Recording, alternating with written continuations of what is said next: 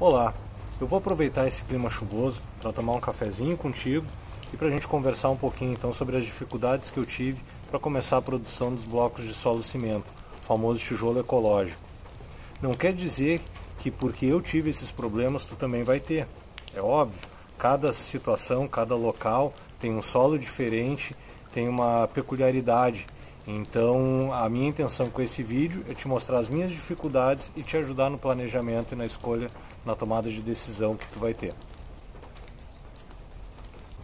Bom, pessoal, minha primeira dificuldade foi encontrar alguém que eu pudesse trocar a experiência, que eu pudesse, quer seja ir na casa de alguém tomar um café e ver como é que funciona ou ver como é que foi uma obra com tijolo ecológico. Então isso foi uma barreira bem grande. Aqui no sul, foi no Rio Grande do Sul principalmente, foi bem difícil. Eu encontrei um fornecedor, um possível fornecedor de blocos prontos lá no noroeste do estado, se eu não me engano. Então dificultou bastante obter informações sobre tipo de solo, tipo de equipamento, que equipamento seria necessário. Então acabei tendo que estudar mais por ter menos acesso às pessoas que já fazem isso. Então assim, pessoal, ter alguém perto de vocês que tem essa experiência vai ajudar bastante. Bom, outra questão, né? A fornecimento de solo, achar um fornecedor de solo. No início da pesquisa, não encontrei. Fiz uma lista de vários possíveis fornecedores, ligava para eles, mas como nem eu sabia direito o que, que eu estava procurando, ficava difícil para eu explicar para eles por telefone o que, que eu precisava. Como eu tenho uma outra atividade, também era difícil de eu pegar e visitar os locais para, enfim, ver o material. Então eu passei bastante trabalho nesse sentido. Então, assim, antes de comprar o, a, a prensa, e triturador de solo, betoneira, pallets e toda, toda a estrutura que eu precisei comprar, eu ainda não tinha conseguido um fornecedor de solo garantido. E aí o que, que aconteceu, né, pessoal? Dei uma de loucão. O que, que eu acabei fazendo? Eu comprei a prensa, comprei triturador de solo, fui montando toda a estrutura e aí eu me obriguei a, ir, a conseguir fornecedor de solo.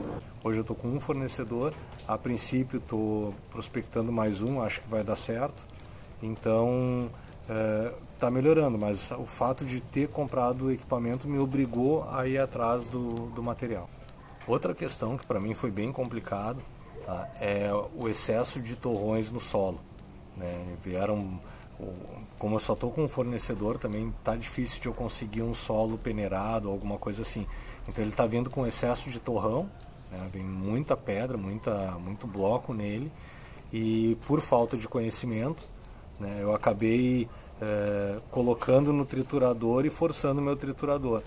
Então, na realidade, assim, eu poderia ter destorroado um pouco mais antes de colocar no triturador e eu deveria ter esperado secar um pouco mais. Tá aí uma outra dificuldade que eu tive. Né? Como aqui a logística é um pouco uh, difícil, assim? A ideia é produzir os blocos para nossa casa, não é ter uma produção comercial. Então o solo fica no meio do campo ali, ele está coberto com lona. Eu descubro em dias de sol e cubro uh, de noite ou quando está para chover, né? E trago ele aqui para dentro do galpão, fica aqui do lado da prensa. Né? Ele fica aqui o solo que eu vou usar mais imediatamente. Mas então assim ele vem com muito torrão e também muito úmido. E no início, nas primeiras prensagens que eu fiz, eu passei ele no triturador com muito torrão e bastante úmido. Isso fez com que pesasse demais né, o, o motor do triturador e eu acabei estragando então os rolamentos do triturador.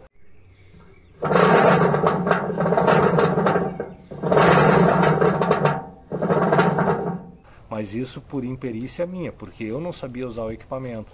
E também porque eu não contatei eh, as pessoas para buscar informação. Né? Eu devia ter entrado em contato com o Vicente, que certamente ele teria me atendido e me orientado em relação a isso. É aquela coisa, acabou saindo relativamente caro, que poderia ser uma conversa por WhatsApp. Né? E caro também naquelas, né? porque é, é o aprendizado, eu acabei tendo que comprar um par de rolamento e, sacar, e fazer a manutenção. Foi o custo do aprendizado em relação à forma com que a, o solo está indo para o triturador, né, tamanho do torrão, umidade, mas também eh, em relação à, à, limpeza e lubrificação do equipamento. Então, Uh, tem um vídeo aqui, está no canal, vou mostrar para vocês como que eu faço para recolocar a graxa nos rolamentos, né? Então eu retiro o mancal do equipamento, coloco a graxa e coloco o mancal de volta. Então acho que isso aí faz parte, né? Dentro, uh, dentro da manutenção preventiva, a limpeza e a lubrificação desse sistema. Outra questão que também tem a ver com a umidade do solo é como distribuir o, o solo quando chega do caminhão no terreno. Então as primeiras pilhas que eu fiz, eu fiz pilhas muito íngremes. Né? Então eu percebi que aparentemente demora mais para secar do que quando ele está espalhado mais na horizontal. Então eu tenho trazido aqui para dentro do galpão, já deixo ele mais na horizontal e conforme eu tiro as camadas superiores eu já revolvo ele para tentar fazer com que uma nova camada seque, isso aqui dentro. Lá, agora as próximas entregas eu já vou tentar deixar elas mais distribuídas na horizontal do que na vertical. Isso é coisa que a gente vai pegando amanhã. Né? Como é que tá o cafezinho de vocês aí? O meu tá no fim. Acho que vou ter que pegar mais um, que ainda anotei mais duas coisinhas aqui. Outra dificuldade, pessoal, foi acertar a umidade da mistura. Né? Então, coloquei ali a quantidade de solo, corrigi, no caso da primeira leva de entrega de solo eu precisei corrigir. Tem um vídeo aqui mostrando como fazer os, o teste do solo e tem um videozinho também mostrando como fazer, como eu fiz a correção desse solo. Só eu vou deixar o linkzinho aqui na, na descrição, tu entra depois, termina esse aqui primeiro, depois entra naquele. Uh, então, depois de corrigido o solo, na hora de misturar com o cimento e misturar com a água, eu tive um pouco de dificuldade no início de achar o ponto de umidade. Então, vou deixar foto aqui, imagens aqui do lado. No início eu deixei úmido demais, prendia tanto no triturador de solo na hora de bater e homogeneizar a mistura, quanto também estava prendendo na prensa. Né? Então estava muito úmido na hora de prensar, ele estava grudando nas tampas dos moldes. Então, depois também acabei deixando seco demais, estava ficando difícil de, de retirar da prensa e levar para os pallets. E agora, assim, é aquela coisa da tal da curva da aprendizagem, né? Então agora a gente já está é, com essa parte muito, muito melhor, assim, a gente já está conseguindo acertar bem a umidade.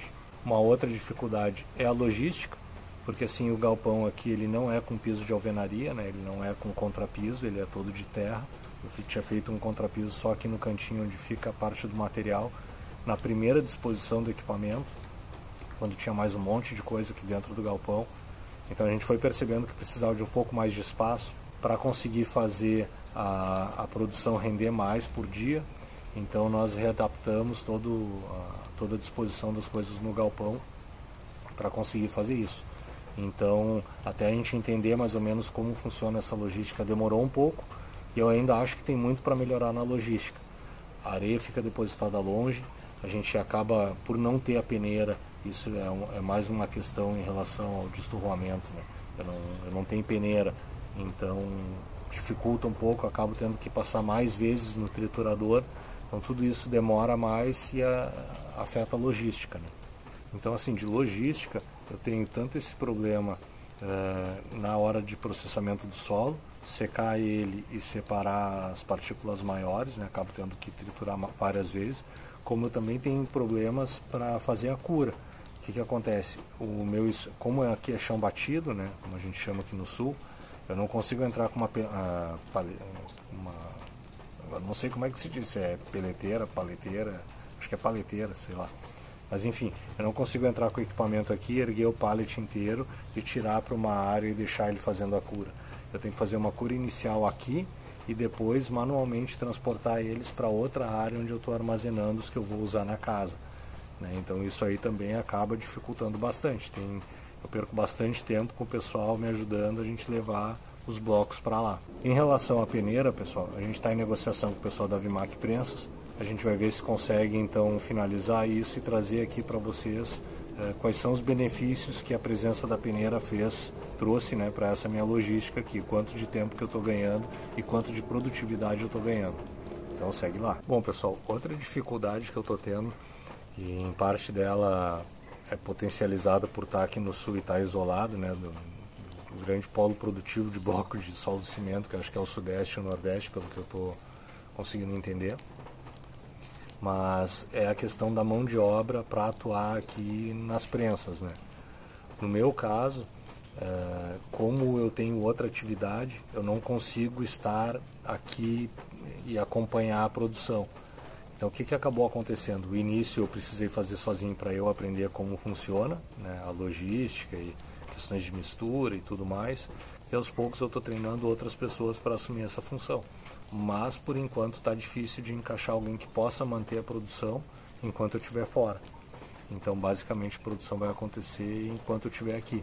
Bom, pessoal, outra dificuldade que eu tive é em relação à escolha do equipamento tanto da marca quanto de quais os equipamentos que eram necessários eu ter para viabilizar a produção.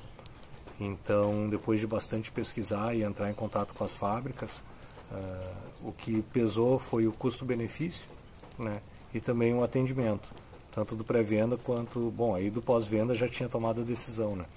Mas uh, acabei optando pela Vimac Prensas, o valor foi o mais acessível, né? E também a parte do atendimento foi muito boa, né?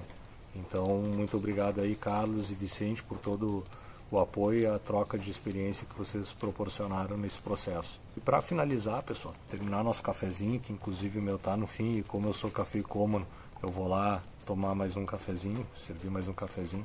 Até me diz aqui, o teu cafezinho é com açúcar ou é sem açúcar? O meu é sem açúcar. Aqui no sul a gente chama de café para louco. Então, pessoal, para finalizar, duas coisas, duas diquinhas. Primeiro, tenta fazer o melhor planejamento possível. Tenta ver o que, que tu vai precisar de espaço, fornecedor, fornecedor de cimento, que até tinha esquecido de dizer aqui, uma das minhas dificuldades foi conseguir cimento CP5. Aqui na volta, todo mundo só com CP, CP4, CP3, CP3 eu acho. Aquele C32, sei lá. Enfim, só o cimento comum. CP5, nem pensar. Eu tive que encomendar uma determinada, uma determinada quantidade de saco para ter acesso ao CP5, porque as ferragens e mesmo as grandes, Cassol, Leroy, aqui no sul pelo menos não estão trabalhando com cimento CP5. Mas enfim, tenta te planejar da melhor forma possível, tá? E a segunda dica é, não fique só no planejamento, porque parte das dificuldades tu vai perceber é na hora que tu começa a atividade. E se tu fica só no planejamento, planejamento, planejamento, tu vê um bom, o bom de passar, tu vira apenas teórico e pouco prático. Então assim, te planeja, faz tuas contas, evita alavancagem, evita te endividar, te organiza, se planejem, mas não fiquem só no planejamento. Partam para a prática que também é importante e é na prática que a gente encontra muitas das dificuldades e muitas das soluções. Tá? Então é isso que eu tinha para dizer para vocês. O que aconteceu comigo não necessariamente vai acontecer com vocês, mas pode acontecer. E se acontecer, você já tem aí uma ideia de mais ou menos como resolver. Valeu, um grande abraço e até a próxima. Tomar mais um cafezinho.